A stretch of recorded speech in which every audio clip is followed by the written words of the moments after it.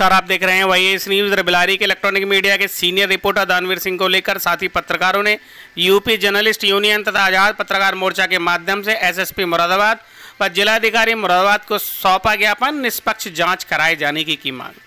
साथी पत्रकार ने बताया कि दानवीर सिंह पर झूठा आरोप लगाया गया है क्योंकि कई ऐसी खबरों को उजागर कर चुके थे जिसमें कई लोगों के फंसने के प्रमाण थे। इसलिए उनके खिलाफ षड्यंत्र रचकर झूठे मुकदमे में उन्हें फंसाया गया है।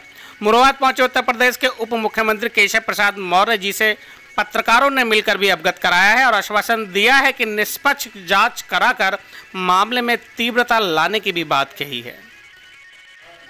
एसएसपी साहब से मिले हैं सभी पत्रकार जो नेतृत्व है लेकिन उन्होंने जाँच को दूसरी जगह करने की बात कही लेकिन अभी तक कोई जाँच पत्रकार की नहीं की गई है। इसकी जाँच की अगर आप दूसरी जगह चाहते तो दूसरी जगह करवा देंगे जी जी। और निष्पक्ष जाँच होगी और निष्पक्ष कार्रवाई सर पत्रकार आम आदमी पार्टी बिलारी इकाई द्वारा चलाया जा रहा है सदस्यता अभियान।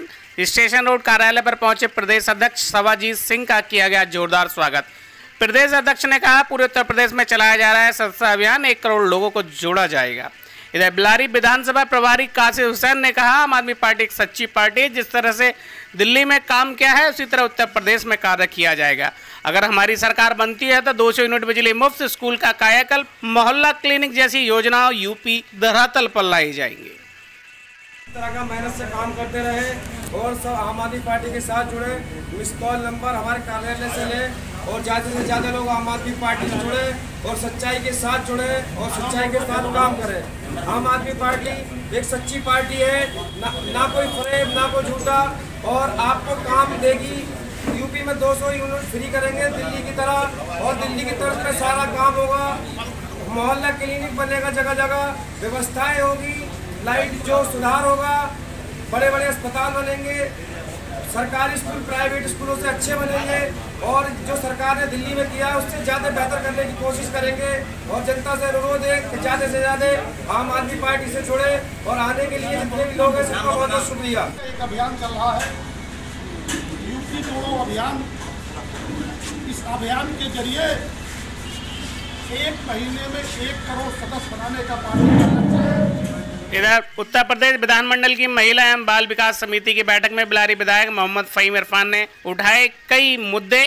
मंगलवार को महिला एवं बाल विकास समिति सदस्य मोहम्मद फहीम इरफान ने अमरोबाद के जर्जर जेल भवन के बारे में बताया। इस पर अपर मुख्य सचिव गृह विभाग अमनीश कुमार अवस्थी ने नए जेल भवन का निर्माण कराने का एस्टिमेट बनाकर जल्द शुरू कराने का आदेश दिया। नए जेल भवन का निर्माण का निरीक्षण करने डीजी जेल आनंद कुमार शीघ्र ही मुरबाद आएँगे इसके अलावा समिति सदस्य मोहम्मद फहीम इरफान ने मुरबाद में बढ़ रहे नशे के कारोबार के बारे में भी जानकारी दी। इस पर अपर मुख्य सचिव अवनीश कुमार अवस्थी ने मुरबाद डीएम को निरीक्षण करने के भी आदेश दिए। इसके अलावा सदस्य मोहम्मद फहीम इरफान ने बिलारी में अग्निशमन केंद्र का निर्माण कराकर जल्द शुरू कराने, बिलारी कोतवाली के भवन का निर्माण करवाने, बिलारी कोतवाली में महिला बैरक और महिला इंस्पेक्टर की तैनात करने की भी मांग रखी। इसके अलावा महिला हेल्प डेस्क पर प्रतिमा, गोष्ठी पर महिलाओं को जागरूक करने की मांग रखी।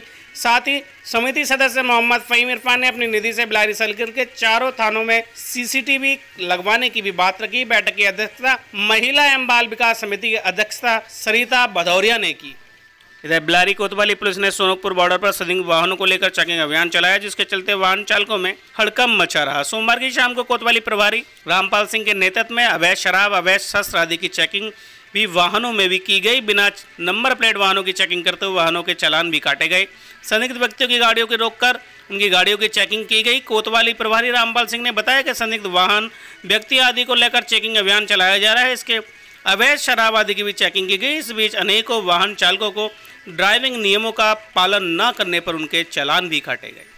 इधर आज बरारी पुलिस द्वारा अभियुक्तगढ़ रोहित शर्मा, पुत्र मुकुट शर्मा, दुष्यंत शर्मा, पुत्र मुकुट शर्मा निवासी ग्राम बरौली रस्तुमपर थाना बिलारी जनपद मुराबाद पृथ्वीपाल, पुत्र इंद्रपाल धीरेन्द्रपाल पुत्र कृष्णपाल सिंह विपिन कुमार, पुत्र कृष्णपाल सिंह निवासी ग्राम बोहरनपुर, नरोली थाना बिलारी जनपद मुराबाद को शांति भंग में धारा एक सौ इक्यावन में गिरफ़्तार कर एसडीएम बिलारी न्यायालय पेश किया गया।